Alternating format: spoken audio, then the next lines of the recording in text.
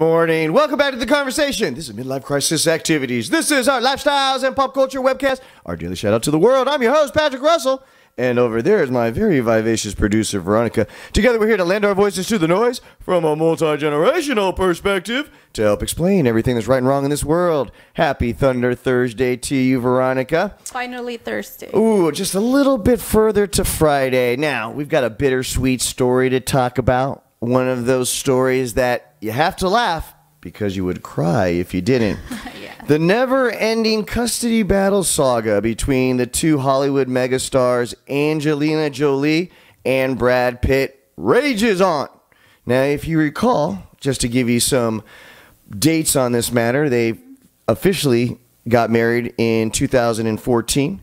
They filed for divorce not too much longer, uh, 2016. And their divorce was actually finalized, the separation agreement, in April of 2019. But that still left the issue of custody for the six children open for litigation. And so that custody battle has continued on to this day. The latest chapter Angelina Jolie was successful in getting the original custody judge, the court case judge, thrown off the case. And now they're going to be proceeding with a brand new judge, Ouch. fresh scoreboard, possibly even having to rehash old arguments that were already made, questions asked and answered before that now are subject to open from a fresh set of new judicial eyes. From a younger generation's perspective, Veronica, do you see this as truly a case, a cause of a mother's concern and love for her children, almost adult children? Or do you see this revenge?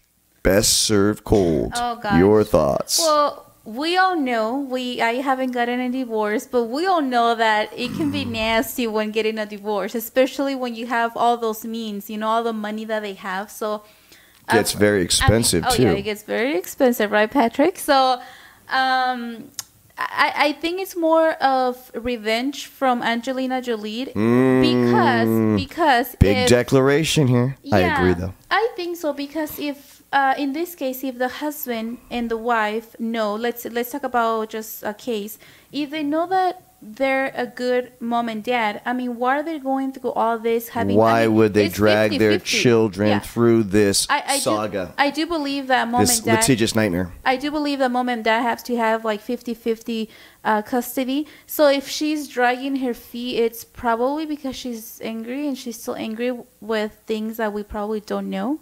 So I, I think it's that because I mean once again if the so I did remember the oldest kid mentioned that he never had a good relationship with the father And had an altercation at one point coming off of a private jet, a plane trip that apparently went south for this kid, for this probably overindulged, entitled, spoiled brat from some accounts that I've read. Go ahead. So, uh, like I said, I, I do feel that as a mom, even if my kid would doesn't want to be with his father, as long as it was nothing, uh, like lo- as long as my husband or ex-husband in this case is not going to harm my child, I think it has to be 50-50. I mean, he's paying child support. I'm, I'm assuming he's doing his best. So, I mean, the kids sometimes there can be assholes. So, I mean, let's face it, you know, even if my kid said, I don't want to be with my mom or my dad, I mean, what is it that he did? And then if he did something wrong, and then probably we can go into the next stage. But in this point, I think it's just the kids being kids.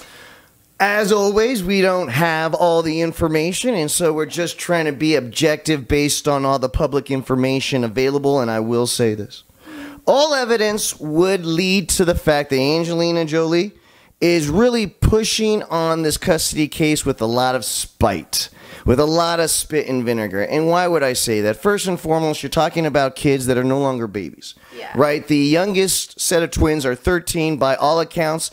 By the time this custody battle is over, the kids will all be old enough to drive themselves back and forth from mom and dad's place. So I guess that's a mean, good thing. It's nice. But then there's an example being set. Not just the fact that they're dragging the kids through this litigious saga, which is always ugly and nasty, and there are no winners. Yeah. And that's the problem that I think is really being set here is that these kids now will go through life believing that instead of handling their personal issues humanely Yeah. and through person to person, Now they feel like all matters, including the matters of the heart, need to be litigiously handled. And I think moving on, it'll be fun to see if these kids go through a lot of lawsuits. You know they're going to go through a lot of therapy. But will they go through a lot of lawsuits in their lifetime? Just a social experiment to keep in mind. Last so, point from my perspective that um, I do see and, and watch a lot of women going through divorces and the last thing that they want to do is fight with the husband as long as he's paying child support, as long as he's being there, uh, you know, he wants to be there for the kids. So it looks like that's the case where uh, Brad P wants to be there, he's paying child support. So, and that's what money does. Money prevents you from seeing the, the, the picture in front of you. And I mean, it's sad because, I mean, the lawyers are the ones getting the money. That's exactly right. So, from all accounts, it doesn't appear like it's a situation where Brad Pitt is a true abusive father. Is he a perfect dad?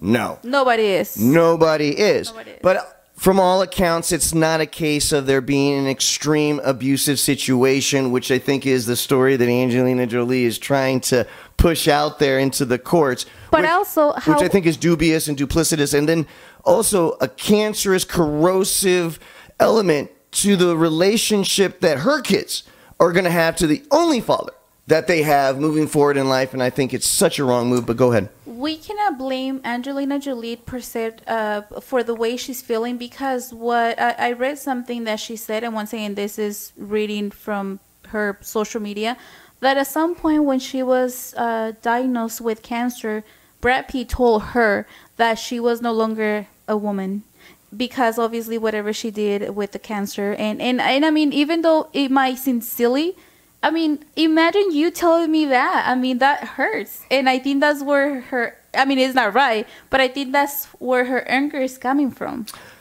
that's a fake news alert for you right there. Because even if those words happen to fly out of Brad Pitt's mouth, the context, I believe, has completely been evaporated in your expression of that moment. I doubt it went down exactly the way you said it, but that's what I read. More importantly, final note on my side from a general perspective when it comes to litigious matters and lawsuits, there are no winners and losers. There's just survivors. Guys, there's no right answer, there's no wrong answer, but there definitely is your opinion. Please don't just subscribe to this channel, even though we will be doing this back and forth on a daily basis, but lend your voice to the show. It'll make it a whole lot more fun. Guys, it doesn't matter what comes your way today. It doesn't matter what obstacles or challenges that you may face. You just need to remember one thing. Give him hell. hell. Happy Thunder Thursday, everybody.